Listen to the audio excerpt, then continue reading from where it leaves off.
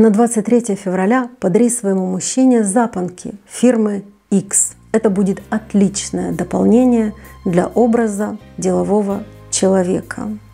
Мне кажется, вот в этом месте история достигает точки максимального, наивысшего абсурда.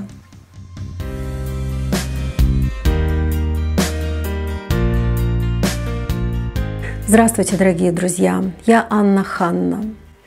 Если зимой, допустим, после обильного снегопада вынести во двор круглый плетеный столик, поставить на нем подсвечник, э, фарфоровую тарелочку с пирожным, а рядышком положить э, начищенные до блеска столовые приборы, хвойную веточку, книгу, то э, получится, конечно же, красиво. Вот только кто станет есть хрупкое воздушное пирожное ножом и вилкой на холоде? Это ж неудобно, да и пальцы мерзнут. А книжка зачем? Кто ее будет читать? Ну, конечно же, никто, потому что все это только для красивого кадра, для фото, для картинки, а картинка для контента. А вот для чего контент? Возможно, история, которую вы сейчас услышите, даст ответ на этот вопрос. А возможно, наоборот, запутает еще больше. И это история Кристины и Дмитрия Журавлевых из Екатеринбурга. Слушайте.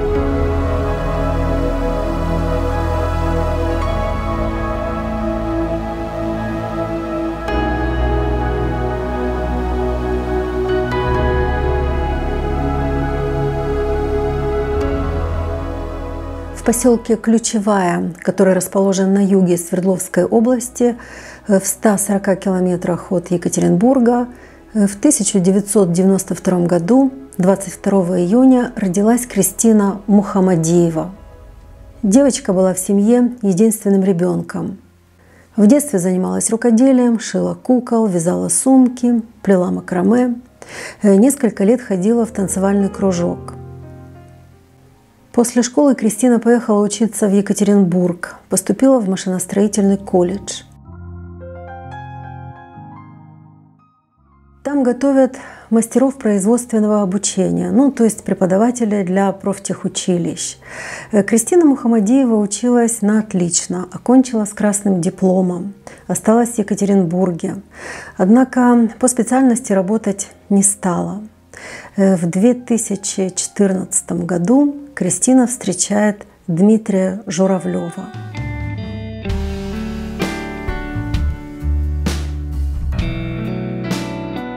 Он на пять лет ее старше. Его специальность называется техник телекоммуникационных систем. Образование Дмитрий получил в Уральском техническом институте связи и информатики. Молодой мужчина очень понравился Кристине.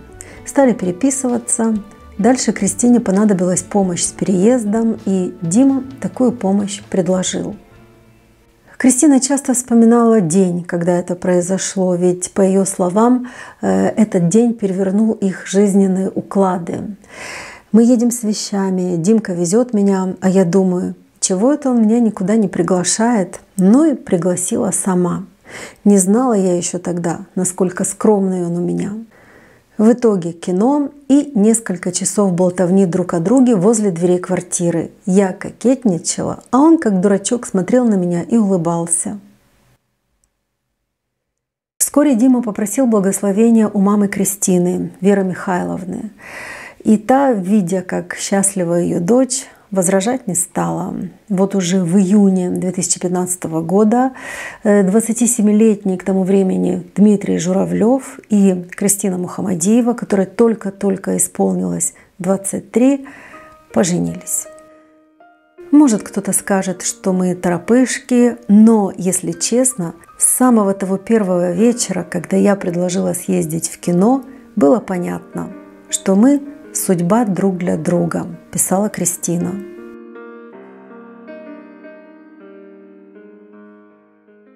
Почти два года после свадьбы Дмитрий работал на полставки инженером контрольно-измерительных приборов э, в научно-исследовательском углехимическом институте. Был занят всего 4 часа в день, получал 15-20 тысяч. Пара жила в съемной однокомнатной квартире в районе Уралмаша. Э, чем в то время зарабатывала на жизнь молодая жена, информации нет. Известно лишь, что летом того же года, 2015 вскоре после свадьбы, Кристина, уже Журавлева, завела блог в Инстаграм. Первую запись она разместила 16 июля. Фотография, где они с Димой целуются, и подпись любимый муж, супруг мой, неповторимый мой. Лишь с осени 2016 года посты на страничке стали появляться регулярно. Почти на всех Кристина в объятиях Димы. Ну а тексты, которыми сопровождаются фотографии, одни и те же, что «Счастье в мелочах», «Да здравствует любовь», «Доброе утро», «Прекрасная погода» и все в таком же духе. Кристина всегда мечтала иметь собаку и собственный дом. Собака у ребят появилась быстро. Симпатичный щенок породы самоед, девочка. Назвали Коди. Ну а чтобы исполнить вторую часть мечты, супруги приобрели участок земли под Екатеринбургом в Сесердском районе. Э, сосны, березы, чистый воздух и от города совсем недалеко, всего полчаса езды.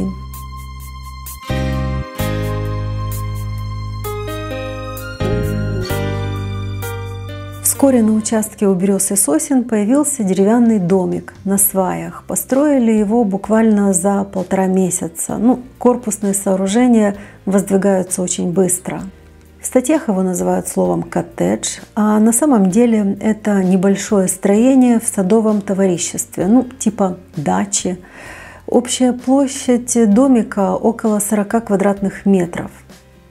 Но, судя по всему, Журавлевым он нравился, особенно Кристине, которая нежно называла его «Журавушкино гнездышко». Отделкой дома, шпаклевкой, покраской молодые занимались сами. Получилось уютно. Простая мебель, деревянный пол, светильники в виде гирлянды, мягкие пледы, свечи.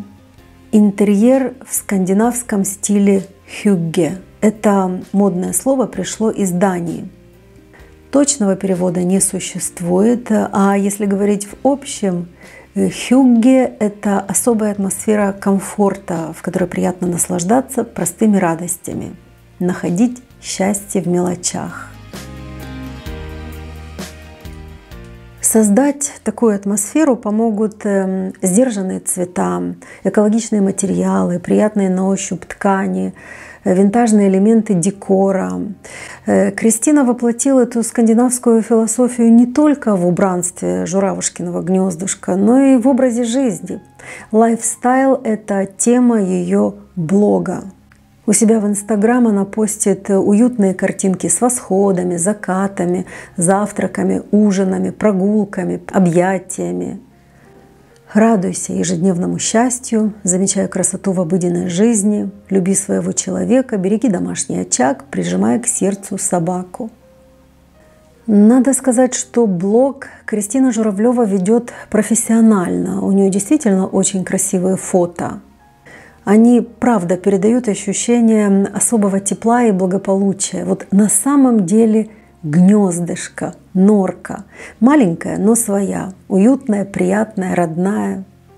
смотришь на эти картинки, вот как будто даже чувствуешь запах. И ароматические свечи в нем, э, и дрова, и снег, и запах щенка, и теста.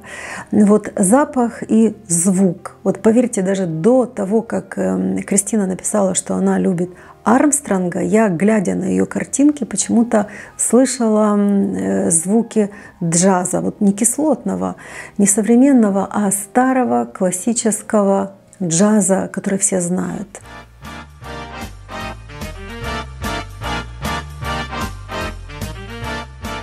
Кристина и Дима часто снимаются в пижамах, иногда танцуют на камеру – и вот когда смотришь на это первым взглядом, то и вправду получаешь иллюзию беззаботности. Вот как будто люди проснулись, поцеловались, выпили какао с зефирками, съели круассаны, погладили собаку и танцуют в пижамах.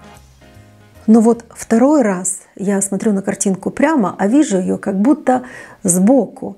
Э, я вижу то, чего в кадре нет. Эм, ну, те же самые лампы, штатив, удлинитель хотя бы один, кабель, какие-то вещи, отодвинутые в сторону, чтобы не мешали. Это так называемая слепая зона. Это все надо установить, э, как-то разместить в пространстве. А ведь пространство это совсем чуть-чуть, домик-то маленький.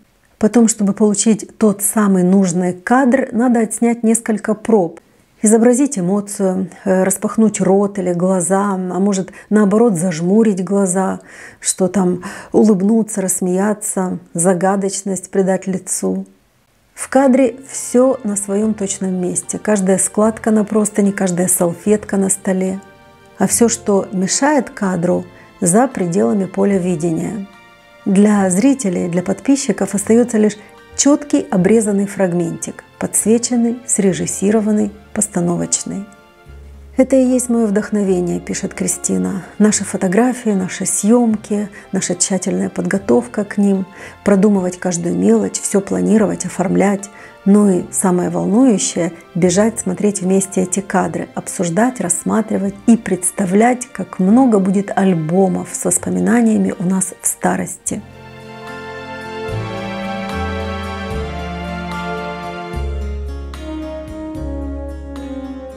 Милая собачка Коди, к сожалению, долго не прожила. У нее случилось заболевание почек, которое нельзя было вылечить.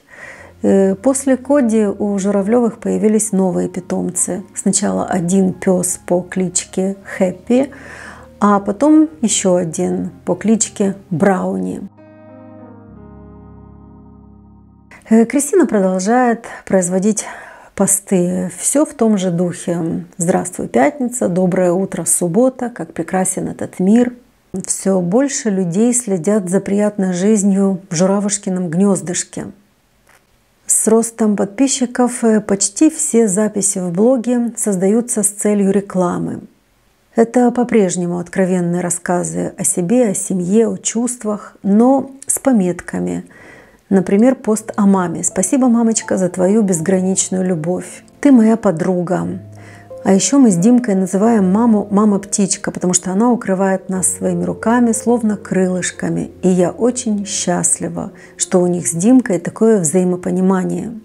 Дальше идет описание эпизодов из детства, связанных с мамой, трогательных и душевных, подарки от мамы, школьное сочинение про маму, Дед Мороз и Снегурочка из поролона, сделанные мамой. Этих моментов не перечислить. Просто все это самое бесценное, пишет Кристина. Ну, а вообще-то этот пост – скрытая реклама цветочного салона. В тексте то и дело указывается название этого салона и его инстаграмная страничка. Дима всегда встает раньше, чтобы заварить мне чай и принести в постель. Спасибо за счастье. Ведь это счастье. Нежиться в постели фирмы. Тут указывается марка постельного белья. И слышать, как кипит чайник. И здесь название магазина бытовой техники. Снежинки, сугробы, и только мы вдвоем в лесу, да и вообще на целом свете. И снова история, как мы познакомились. А вообще вот свитерочки и шарфики такой-то, такой-то фирмы, такого-то, такого-то бренда. В фотосессиях принимают участие собачки. Кристина надевает на них то шляпки, то очки, то бусы. Э, снимки получаются забавные, мимимишные, няшные и комментарии умилительные. Какая прелесть, какие вы классные, обожаю вашу семью.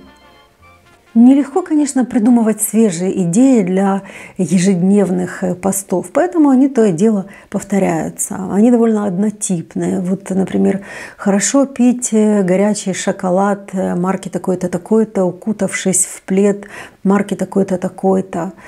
Или, например, 10 фактов обо мне, а при этом реклама маникюрного салона.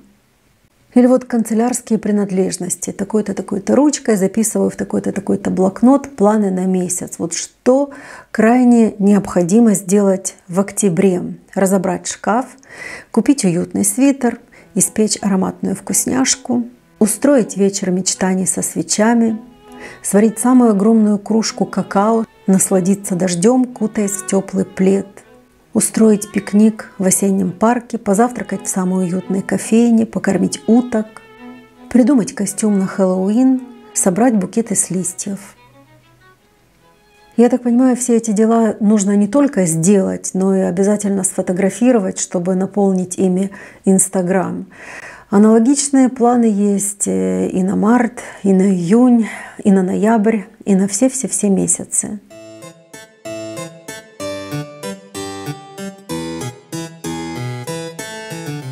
Со временем Димы э, в ленте Кристины становится все меньше, а сама Кристина все реже фотографируется в Журавушкином гнездышке и все чаще в фотостудиях, в магазинах, в кофейнях, да и просто на улице. Э, такие места для съемок называются словом локации. Девушка рекламирует одежду, косметику, духи, сумки. Получается красиво. У Кристины, безусловно, есть способность сделать эффектную картинку из повседневности. Люди смотрят и как будто тоже вливаются в эту э, бежевую фантазию, где вся жизнь состоит из одного бесконечного дня. Вот завтрак, пикник, шопинг. Все как будто слилось и слиплось в один сплошной ком. И в нем застыло вот сотни круассанов, тысячи кружек, Вот бы в сутках было больше, чем 24 часа, мечтательно пишет Кристина. Вот только что бы это дало? 25, 26, 30 часов в сутках, еще больше фотосессий, еще больше кадров, еще больше луков. Сценарий идеального вечера найден. Надеть новое платье, сделать красивый вечерний макияж и отправиться. И тут название ресторана. Обязательно попробуй там стейк тунца. Или вот, немедленно в ювелирный магазин. Название магазина. Ведь пора запасаться подарками для близких и не забыть про себя. Что помогает мне чувствовать себя уверенно? Чистые волосы, легкая укладка, маникюр – осанка и, конечно же, гладкая кожа. Обычно как? Человек зарабатывает деньги, чтобы тратить их потом на свои удовольствия. Ну а в случае Кристины получается как будто бы наоборот. Она занимается тем, что приносит ей удовольствие, а за это еще и получает деньги. Э, и все же, достаточно ли у молодой женщины средств на то, чтобы поддерживать вот такой вот образ жизни, на всю эту красоту? Эм, я не знаю, как функционирует Инстаграм, но я допускаю, что вещи, например, Кристина могла брать на прокат а косметику получать эм, э, в обмен на рекламу. А вот Настя Тропицеля, которая я тоже снимала видео, на своем блоге в Инстаграм э, заработала неплохое состояние. Правда, у Насти Тропицель было больше миллиона подписчиков, а у Кристины Журавлевой только 57 тысяч. Вряд ли, мне кажется, можно прожить, имея лишь этот ресурс. Э, Кристина за деньги ведет чужие инстаграм-аккаунты и оказывает платные консультации желающим. За 10 тысяч рублей она учит тому, чем в совершенстве владеет сама, как создавать эффектные картинки.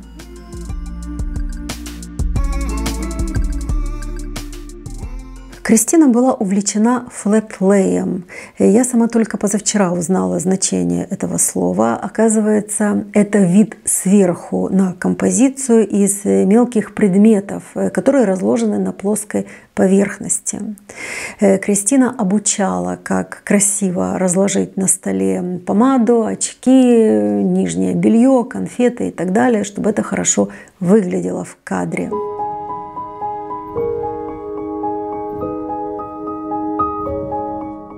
Одно время Журавлевы предлагали всем, кто хочет, свой домик для проведения фотосессии. Стоимость аренды помещения – полторы тысячи рублей в час. Это не меньше, чем 20 долларов – много ли было желающих приехать на съемки в Журавушкино гнездышко? Не знаю. Э, знаю, что ребята быстро отказались э, от этой идеи. Они были недовольны тем, как клиенты себя ведут, мол, много беспорядка. Но, с другой стороны, э, сложно сохранить порядок в таком маленьком помещении, где находятся хозяева. Дима с Кристиной никуда не уезжали, животные. Ну, в общем-то, получается, что Журавлевы были недовольны клиентами, а клиенты, скорее всего, были недовольны теснотой. В общем, проект себя не оправдал, и спустя буквально три недели супруги Журавлевы свой домик сдавать передумали. Чем занимается сам Дмитрий? Он помогает жене в э, креативных съемках. Эм, ну, чтобы продать любой товар, будь то маска для лица, одеяло, пицца или корм для собак, нужно придумать какой-нибудь интересный сюжет. Ну вот, например, собачки в очках, супруги в постели с прессой. У нее в руках Космополитен, у него газета New York Times. Э, понятно, что New York Times – это реквизит может ли в самом деле э, эта газета быть интересна читателю, который не знает английского, у него нет никаких дел в Нью-Йорке, да и вообще, собственно, нет никаких дел. Дима человек без определенных э, занятий. Он немного поработал разнорабочим, потом устроился в такси, но долго там не продержался. Заснул за рулем, случилась авария, разбил чужую машину. Получается, что в семье Журавлевых работает только Кристина. Хорошая ли эта работа, плохая ли, прибыльная ли, неприбыльная, суть не в том. Суть в том, что страничка Кристины в Инстаграм – это единственный источник дохода семьи. Последнюю запись в своем аккаунте Кристина сделала 3 апреля 2021 года. Способ приманить настоящую весну найден. Покружиться у зеркала с утра, как истинная девушка, выбрать самую романтичную сумку из своей коллекции и, конечно же, набросить сверху пальто. Здесь название бренда. И вуаля, солнышко, теплый ветер и прекрасное настроение на целый день. Что я могу сказать? Пожалуй, завтра нужно повторить.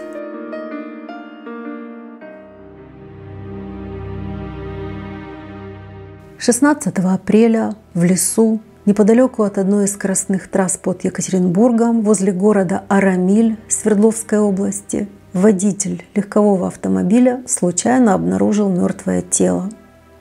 Как это бывает? Ехал человек, остановился, чтобы, прошу прощения, справить нужду, отошел 10 метров от трассы в лес, а там э, лежит молодая женщина в желтом спортивном костюме. Кто она? Э, как установить личность погибшей, если она в розыске не числится? А ведь, судя по состоянию тела, смерть наступила не меньше, чем 10 дней назад – в одних источниках пишут, что гнилостные изменения не позволили установить точную причину смерти, в других, что экспертиза выявила насильственный характер гибели, что девушка умерла в результате удушения.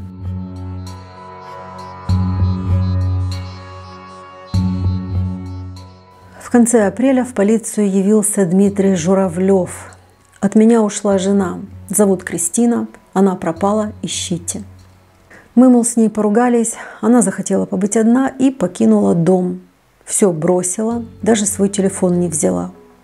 Девушка в желтом костюме – это и была жена Дмитрия, Кристина Журавлева. Оказывается, ту же историю слово в слово Дмитрий рассказывал своей теще. Когда мама Кристины пробовала дозвониться до дочери, на звонки отвечал сам Дмитрий. И в ответ на ее просьбу что-нибудь предпринять в связи с этим отмахивался. Мол, жена просила, чтобы ее не искали, поэтому он и не искал. Собственно, кроме мамы, никто и не заметил исчезновения молодой женщины – Лишь знакомая Кристина Журавлева, которая следила за ее аккаунтом в Инстаграм, обеспокоилась тем, что блогер перестала отвечать на сообщения и э, публиковать новые посты. Она уже не первый раз уходит из дому. В ответ на ее вопрос сказал Дима. Интересно, что той знакомой он объяснил, что это именно мама Кристины просит, чтобы ее не искали. В общем, Дмитрия задержали а через неделю он написал явку с повинной. Это я ее задушил, просто больше не мог выдержать.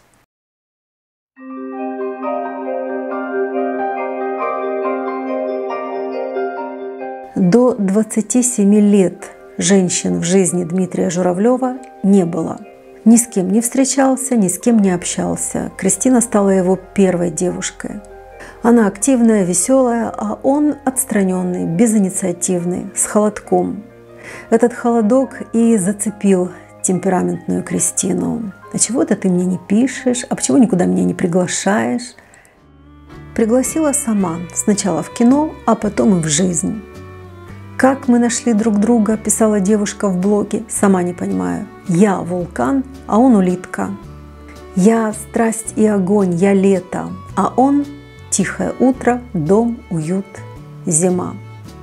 Очевидно, что двигателем в их паре была Кристина. Блок – ее идея, собаки – ее идея, дом – тоже ее идея.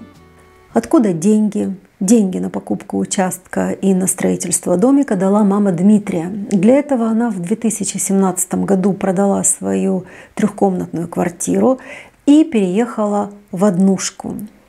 Но вот несмотря на такой щедрый жест со стороны свекрови, Кристина с мамой Димы э, не нашла общего языка. Они даже не то чтобы не дружили, они и не общались э, совсем. И нельзя ведь сказать, что между ними как-то там не заладилось с самого начала, потому что этого начала как такового и не было. Мать Дмитрия призналась, что видела свою невестку всего лишь раз, один раз на регистрации брака. Однажды она пришла к молодым домой, это еще на съемную квартиру в Екатеринбурге, а ей не открыли дверь. Дима тоже э, от матери отдалился, перестал общаться. В общем-то, не только с матерью он перестал общаться, но и с другими родственниками оборвал связи. Его двоюродная сестра рассказывала журналистам, что ее попросили не приходить в ЗАГС, когда Кристина и Дмитрий расписывались. Молодые жили уединенно, замкнуто. В браке Дмитрий резко похудел, сбросил целых 20 килограмм. Надежда Анатольевна Журавлева, мама Дмитрия, последний раз говорила с сыном за два года до его ареста в 2019 -м. Внешний вид его заметно изменился, призналась она. Дима стал грязный, неопрятный. Уже в 2019 году у них не было денег оплатить налоги. Они тогда еще путешествовали, слетали в Африку. Э, я так понимаю, речь идет о путешествии в Марокко в апреле 2019 года. Кристина восторженно описывала эту поездку у себя на страничке. Из каждой страны всегда привозишь с собой впечатления, необъятные просторы, вкусная еда, умопомрачительные горы, красивый язык. Из Марокко я привезла очень важное – доброту в сердце. И долг, долг. Э, по словам матери Дмитрия, молодые за год израсходовали миллион, который она им давала. И несмотря на сложные отношения с матерью, Дмитрий к ней обратился снова в 2019 году с просьбой дать денег, чтобы снять арест на машину. Э, Дмитрий был к тому времени по уши в долгах, из-за этого стал невыездным. А раз не выездной, значит нельзя выезжать за границу, путешествовать. Поэтому путешествует сама Кристина. ведь поездки расширяют кругозор, приносят радость. В июле того же 2019 года Кристина отправляется в Армению. Армения – это гостеприимство и общительность, делится впечатлениями Кристина. Потрясающая природа, от которой невозможно оторвать глаза, бирюзовая вода Сивана, Арарат, которая виднеется отовсюду и дарит тебе минутку раздумий, и, конечно же, винишка, домашняя, насыщенная, с жаркой и терпкой ноткой, как воздух Армении.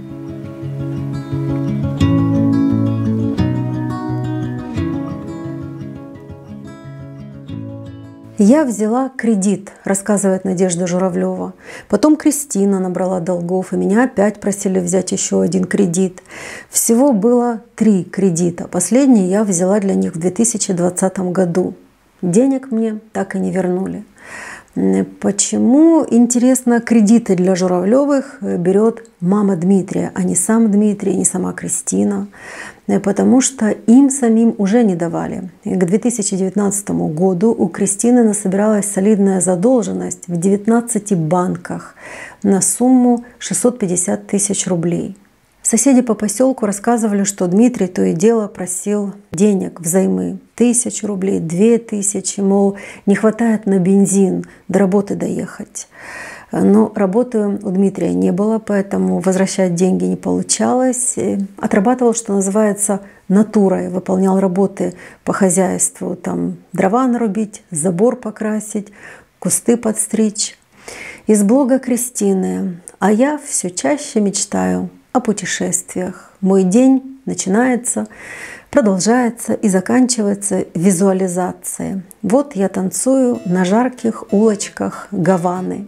Сделав маленький глоток рома с добродушными кубинцами, да не просто танцую, а так, что сама Дженнифер Лопес позавидует. В Риме мы гуляем от рассвета до рассвета, в Париже целуемся у Эйфелевой башни – сменив свои милые наряды для Диснейленда на утонченное платье в пол и брюки с рубашкой, рукава у которой небрежно, но стильно закатаны. На 23 февраля подари своему мужчине запонки фирмы X. Это будет отличное дополнение для образа делового человека. Мне кажется, вот в этом месте история достигает точки максимального, наивысшего абсурда.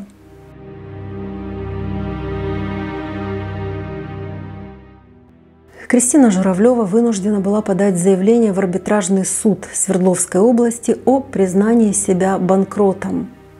Когда долг по кредитам превышает 500 тысяч рублей, а доход не позволяет его оплатить, и в ближайшее время финансовое положение не изменится, физическое лицо обязано объявить себя банкротом. Банкроту нельзя будет выезжать за границу, оформлять на себя недвижимость и занимать управляющие должности. Суд э, по делу Кристины Журавлевой должен был состояться 6 апреля 2021 года, но накануне должница пропала. Дмитрий Журавлев сказал, что не хотел ее убивать.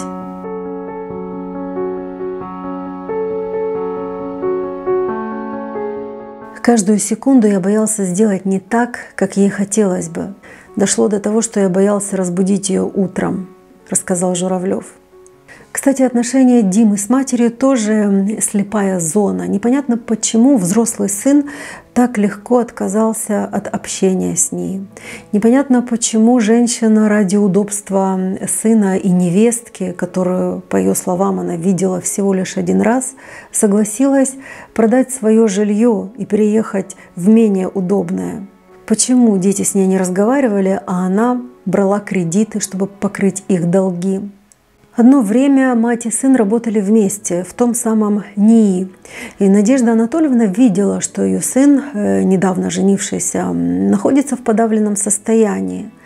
Если бы он любил, светился бы от счастья, а он ходил свесив голову, постоянно снимал на телефон, где находится, чем занимается, чтобы отчеты ей предоставлять. В машине не разрешал передвигать сиденье, потому что оно было специально для Кристины подогнано. Сын запретил мне к ним приходить. Риэлтор, который искал им жилье, сказал, Это ненормальная семейка. Никого в свою жизнь не пускали. А зачем же давала деньги? Хотела помочь. 5 апреля было все как обычно. Вулкан и улитка поскандалили. Муж в злости ударил ногой по собачьей миске. «Остановись», — сказал я ей. «А то что?» Я просто хотел ее успокоить. Душил ее, пока она не замолчала. Убийство было спонтанным, незапланированным. Ну, а что может запланировать человек, который живет только рассветами, закатами и обнимашками? Э, Дмитрий перенес Кристину в ванную. Что делать с телом он не знал. Он, видимо, решил, что подумает об этом завтра. Э, он накрыл жену кардиганом, и так она пролежала в ванной 4 дня. Только 9 апреля он взял в аренду автомобиль, переодел Кристину в желтый спортивный костюм, в кроссовки и вывез.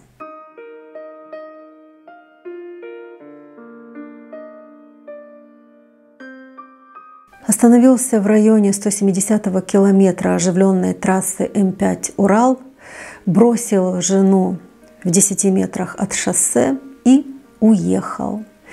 Человек без особых талантов и сильных сторон постоянно нуждается в чужой помощи. Ему необходим локоть, чужое плечо, душевно закрыт, манипулятор со склонностью к мошенничеству. Боится высказать свое мнение, задыхается от работы и общения с внешним миром. Это характеристика Дмитрия от Ирины Ткачевой. Махровое равнодушие к окружающим. Вместо того, чтобы что-то порешать, выберет отодвинуться. К тому же еще и открыто конфликтовать, отстаивая себя, не умеет – в партнерстве он из тех, кто долго копит в себе что-то, а потом плотину прорывает так, что не остановить. На более высоком уровне духовного развития из него получился бы философ, мистик или исследователь. Не знаю, как насчет философа, знаю, что таксист из него не получился, как и техник телекоммуникационных систем. Дмитрий стал, по сути, помощником блогера частью реквизита для фотографий.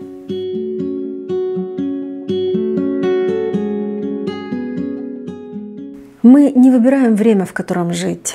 Э, я, например, успела застать несколько эпох. Раньше люди имели в домах эм, книжные шкафы с собраниями сочинений и серванты с фарфором и хрусталем. Придут гости, увидят, есть библиотека, есть витрина с красивой посудой. Ну вот э, прошло 40 лет, и люди уже не ходят друг к другу в гости, люди ходят друг к другу на странички. В соцсетях тоже свои витрины, э, фотографии из путешествий, ресторанов. И эти странички также похожи друг на друга, как похожи были бокалы и тарелки в сервантах. Раньше было мало вещей, и их старались достать. Сейчас, наоборот, много вещей, и их стараются продать э, с помощью рекламы, в том числе и в Инстаграме. Рекламы не такой прямой, откровенной, а вот косвенной применяя сторителлинг. Сторителлинг — это такая техника продажи, когда сентиментально и душевно рассказываешь историю своей жизни. Можно ее даже приукрасить для пущего эффекта. А за кадром в слепой зоне делаешь пальчиками вот так. Мы с Димой такие разные, но бесконечно любим друг друга. Вот так мы познакомились, вот так мы впервые поцеловались, вот так решили пожениться. На годовщину свадьбы я искала ему самый лучший галстук. Покупайте галстуки фирмы такой-то. Наша любовь – бесценный дар. Как здорово, обнявшись, смотреть, как падают снежинки. Мы подставляем им руки. Остановись мгновение. Застынь, как снежинка на рукавице. Рукавицы, свитера и шапочки фирмы такой-то. В результате чего возникли долги? Ну вот бывает, что люди вкладывают деньги э, в бизнес, э, надеются, что он будет приносить прибыль, а бизнес прогорает. Но ведь у Журавлевых не было никакого бизнеса, не было ничего, кроме странички Кристины в Инстаграме. Я с нуля развела свой аккаунт в стиле лайфстайл, сочетая классные идеи для фото и бомбический флет лей. писала о себе Кристина Журавлева. А что можно развить не с нуля? Ноль — это начало всего. Э, и картинок, и заблуждений, и долгов. И вот, мне кажется, чем больше заблуждения, тем больше долги. Мечты сбываются. Главное — мечтать. Теперь в планах большая терраса и пионы под окнами.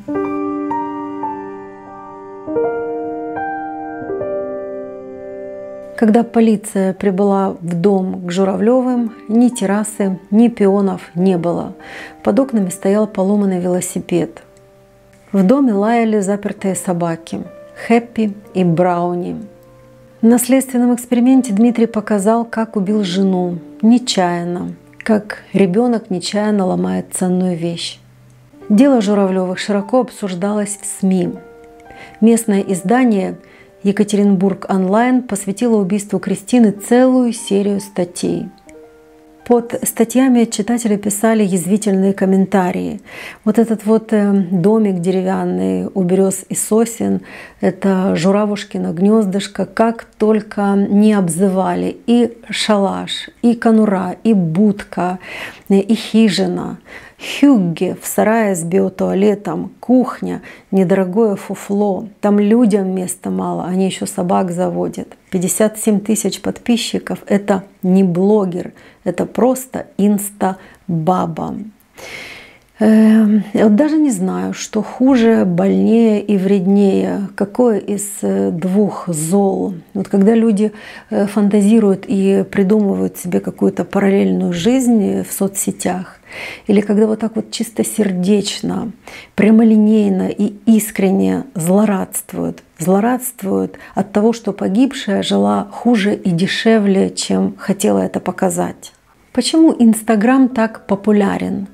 Может, потому что своими картинками он чувствительно жмет на взаимосвязанную пару человеческих слабостей, хвастовство с одной стороны и зависть с другой. Хотя, казалось бы, чем хвастаться и чему завидовать. Редко ведь, когда среди картинок э, найдется что-то уникальное. Люди просто заводят тысячи подобных блогов, хотя точно такие же уже созданы, просмотрены, пролистаны, прочитаны.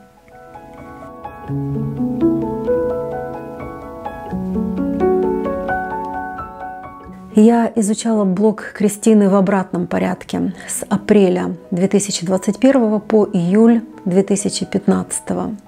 Наблюдала ее трансформацию не сначала в конец, а наоборот, из конца в начало. Мне было грустно, потому что я дошла до постов, где еще нет рекламы, потому что нет большого числа подписчиков, а есть только молодая, свежая любовь, без упоминаний производителей, фирм, логотипов, брендов.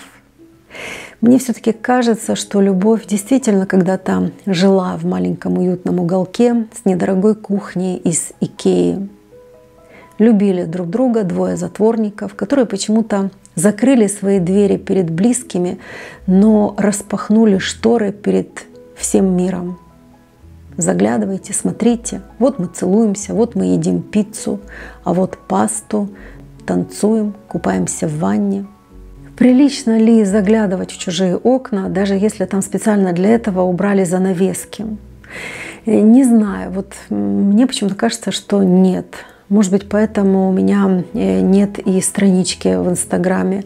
Э, маркетологи, кстати, мне настойчиво рекомендовали ее завести. Я таки попробовала ее завести, но быстро поняла, что нет, нет, э, не мое, не хочу, не буду.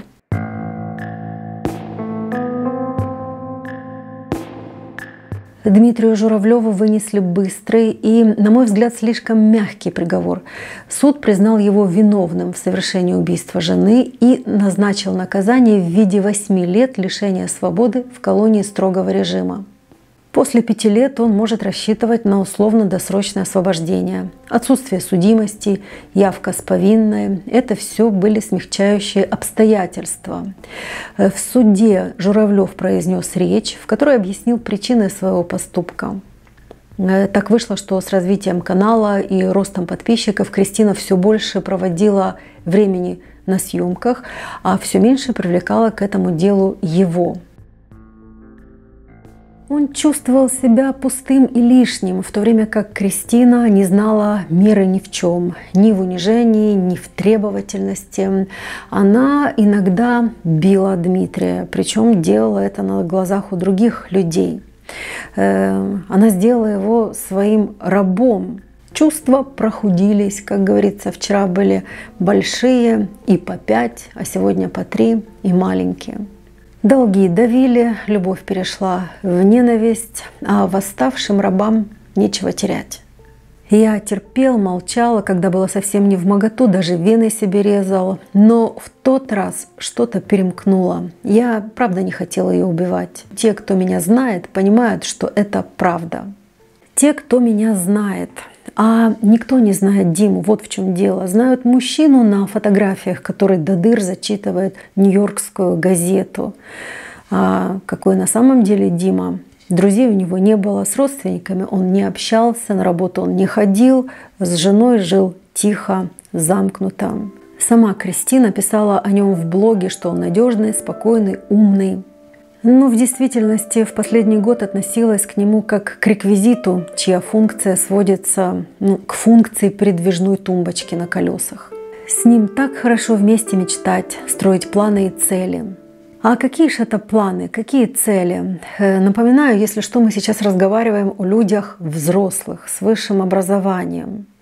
Пройтись по магазинам и пропасть в примерочных часов на 5 а потом, еле перебирая ногами, пообедать где-нибудь в ресторане, заказать суп-пюре и боул с киноа. Никто не знает, кто такой Дима, никто не знает, кто такая Кристина была. Она любила Starbucks и всю жизнь пыталась э, вырваться из окружающей реальности.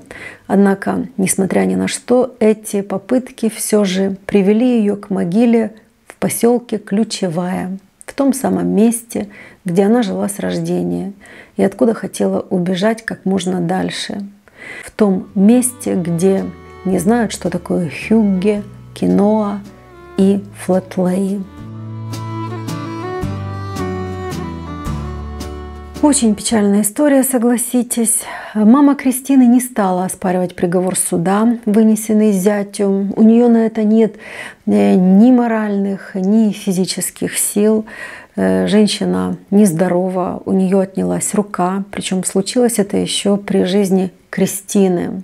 За женщиной в поселке Ключевая ухаживал социальный работник – но эта информация не попала в пост о любви к маме, где Кристина заодно рекламировала салон цветов.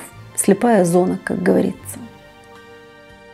Может и правда искажение действительности это не такой уж и страшный обман. Ну, в самом деле, что плохого немножечко подсветлить картинку? Эта картинка входит в тебя безболезненно, вот как нежная пуля поселяется внутри, и кажется, что никакой слепой зоны как будто и вовсе нет, а есть только то, что в кадре.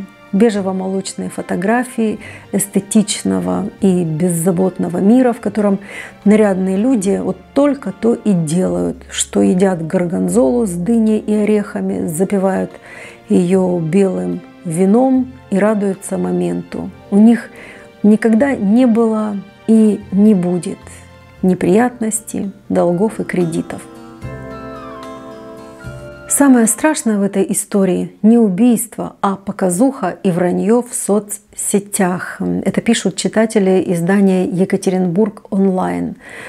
А вот позвольте с вами все же не согласиться, потому что нет, нет ничего страшнее, чем убийство. А если бы убивали всех, кто грешит показухой, то людей, наверное, просто бы не осталось. Собак э, забрали волонтеры. Я надеюсь, что животные в хороших руках. Домик у берез и сосен отдали родственникам Дмитрия, я так понимаю, его маме, ведь это она э, давала деньги на его строительство. Ну а слепая зона, она есть у всех вот в том числе и у меня. Видно то, что здесь, а не видно то, что там. Не видно ламп, удлинителей, штатива и вещей, которые не должны быть в кадре. Вам большое спасибо, что посмотрели. Царствие Небесное бедной Кристине. Будьте осторожны, разбирайтесь в людях, не делайте ошибок. Всего вам доброго. thank you